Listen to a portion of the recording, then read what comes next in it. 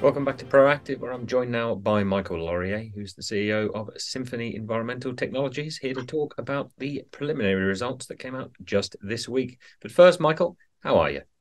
Yes, all well. Thank you very much, and uh, good to be on the show this morning. It's good to see you again. So, yes, the prelims out earlier this week for last year. How do we feel about them?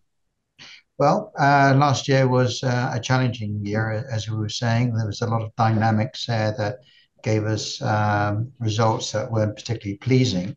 But what was very, very good was the development side of the business, where a number of very, very important areas we moved forward to the commercial part.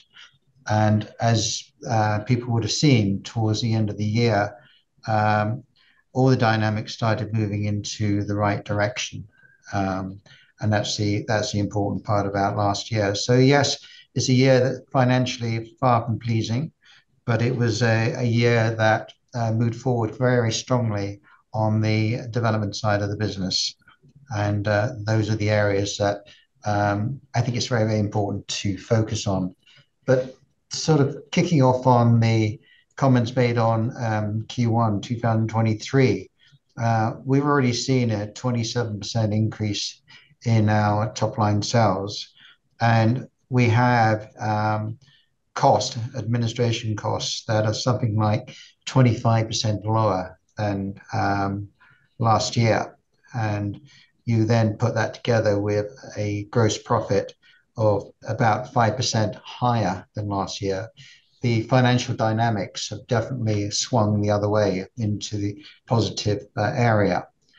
Now, of course, behind that is uh, the interesting uh, parts that are uh, driving uh, the business forward. And just to touch on that, um, one splits it into various different components, of course. One is the Middle East. Um, the Middle East has been a major market driver on biodegradable plastics because it's the Middle East that are not looking to see alternative materials than petroleum-based materials. Um, and that's what makes it a very, very good market for us to focus. And, and we have, which is what caused the um, delay in the dip in sales last year as we moved manufacturing from the Far East to the Middle East. Uh, and that process um, meant that sales have taken a nosedive downwards. Uh, they didn't really, uh, it was all to do with logistics so transferring from Taiwan to um, the Middle East, having then going through a lengthy process of government certification, we end the year with getting that certification with the factory now producing products, and the sales get switched back on during the first period, the first quarter of this year. Um, now that's coupled with, of course, uh, a huge amount of push uh, in the Middle East to go for biodegradables um, because they don't have sufficient recycling facilities. They're not prepared to use paper as an alternative to plastics, uh, and they're not prepared to go for uh, composting products, which in any event don't biodegrade in the open environment. Though all the dynamics in the Middle East uh, is swinging very positive because there are, as we've previously announced, legislation in uh, countries from Saudi Arabia to United Arab Emirates uh, to uh, Bahrain, uh, and there's some other countries moving quite um, fast towards it.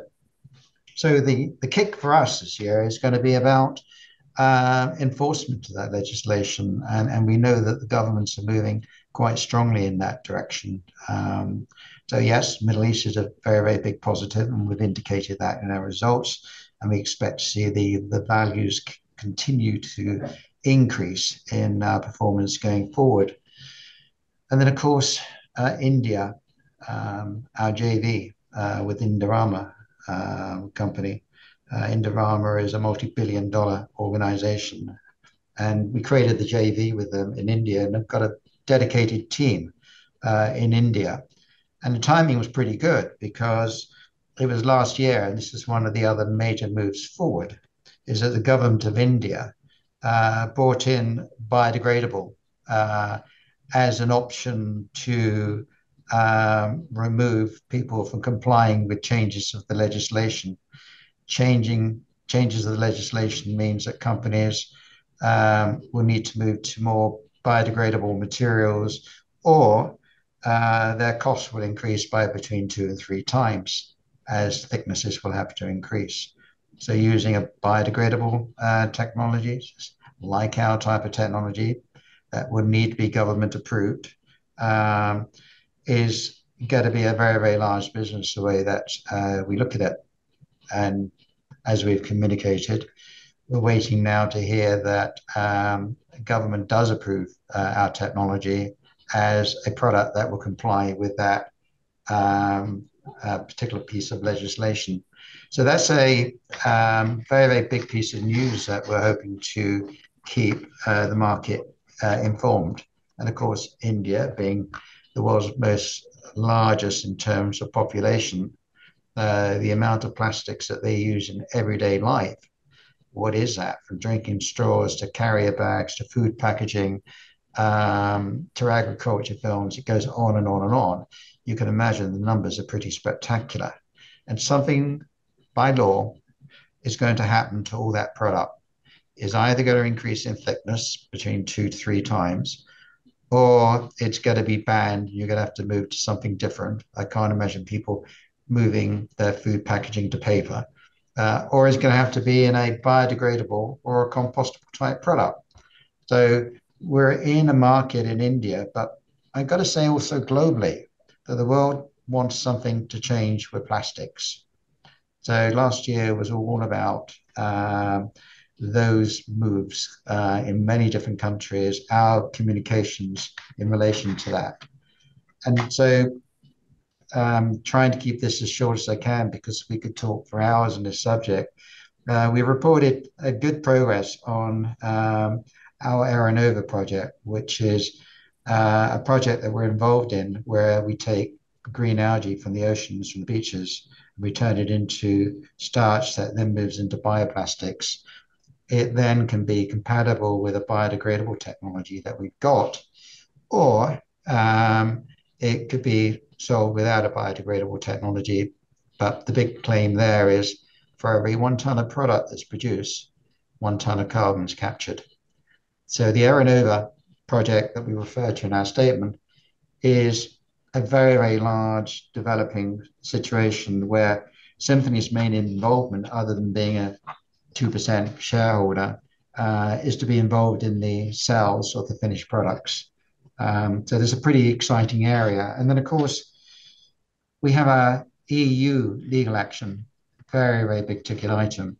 Um, we have five judges, which is um, demonstrates the importance of the case. Um, we expect that will have a verdict sometime early 2024. Um, and we feel pretty confident about the outcome of that case. And should we win, other than the enormous financial damages that we're claiming for, it moves us back into the EU market. Uh, so it's the EU market that we're not presently in uh, that we hope that we'll be able to bring back. But it will also, I think, turbocharge global demand once we get clarification on that case. And then, of course, finally, our antimicrobials showing excellent growth, uh, although quite small in numbers still, but we're showing growth year on and year on uh, in a big range of technologies from bread packaging to um, other forms of antimicrobial insecticidal technologies that are increasing, as well as um, uh, flame retardants and, other materials. Subject in its own right, each one uh, in terms of market size, opportunity, interest, uh, is a very, very big number. So yes, last year, financially disappointing. In terms of um, getting to a watershed of major um, changes within the landscape of our business, uh, I think we've definitely taken a quantum leap forward. All right then, Michael. Well, I think there's plenty for people to digest this. I think we'll wrap it up. But thank you very much indeed for your very comprehensive answer to my question, and uh, good luck for the rest of this year. In fact, thank you. We look forward to this year with with great enthusiasm.